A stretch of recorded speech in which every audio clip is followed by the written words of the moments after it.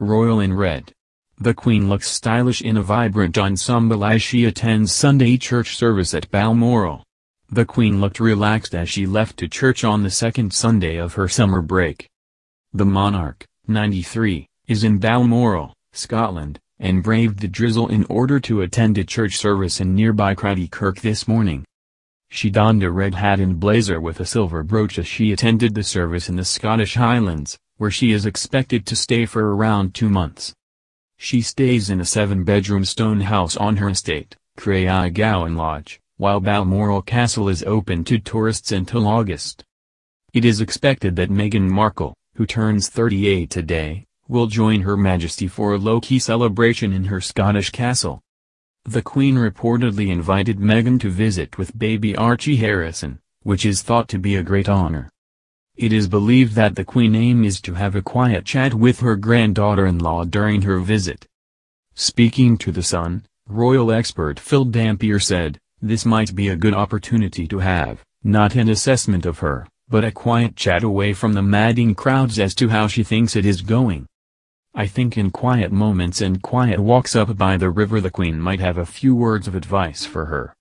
I'm sure there must be things where she perhaps thinks things could be done better, so I'm sure she would give her some advice, especially if she asks for it. The expert added that Charles, Camilla and the Queen are very fond of Meghan, and find her engaging and intelligent. And Balmoral Castle will definitely see its fair share of entertainment this summer, with a reported infestation of bats.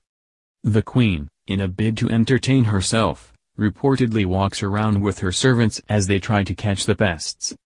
Speaking to Fabulous Digital, royal editor Adam Helliker said, When I checked last summer there were bats still there. They can't get rid of them.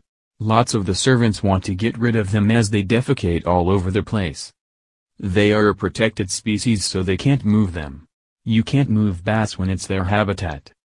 He added that he is told the queen shouts encouragement but no longer actively participates in the catching of the bats. The Queen is expanding her workforce and is currently searching for an individual to oversee her London residence, Buckingham Palace. The role of property project manager requires an organizational who will need to ensure all activities for ongoing projects at Buckingham Palace are managed to schedule, budget and to the highest standards.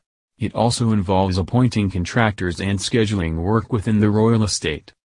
The job comes with a generous salary of between £40,000 and £50,000 a year, dependent on experience, and 37.5 hours working week from Monday to Friday.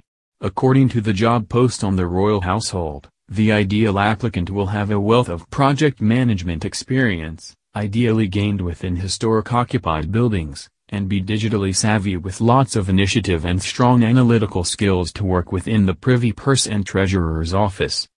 The job post reads, every day, like every project, will be different. A vital interface, working closely with colleagues and contractors, you'll ensure your projects consider the needs of a diverse range of internal stakeholders. These are busy working buildings, Exceptional communication and planning will therefore be critical so that our calendar of events and operations can continue.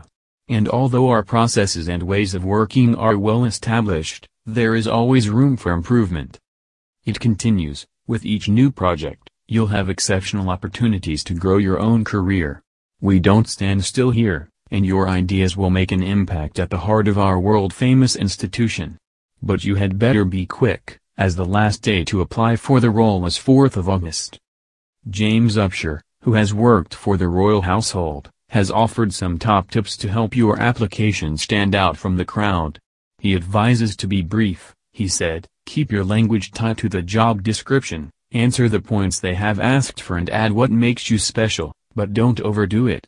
But the golden rule according to James is to never utter the words, I have always dreamed of working for the royal family. He adds, of course, you should have a line mentioning your great respect for the institution, but play this one very cool to stay out of the no pile.